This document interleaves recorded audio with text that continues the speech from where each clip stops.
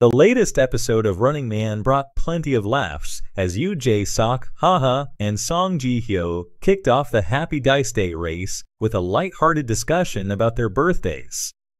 As only Yoo Jae-suk, Haha, and Song Ji-hyo were present for the opening, fans speculated about a common thread between them.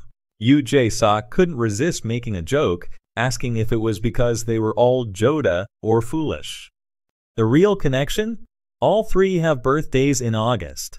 Song Ji-hyo amusingly listed her birthday as August 14, 15, 17, to which Haha humorously responded, Mine is the 20th, clearly feeling a bit left out.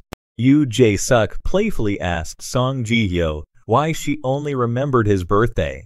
When she confidently replied that his birthday was on the 17th, Haha couldn't help but laugh pointing out that his birthday has been on the 20th for the past 46 years. This episode of Running Man was another reminder of why we love watching these celebrities interact full of humor, light-hearted banter, and genuine friendship. Did you catch the episode? What was your favorite moment? Let us know in the comments below.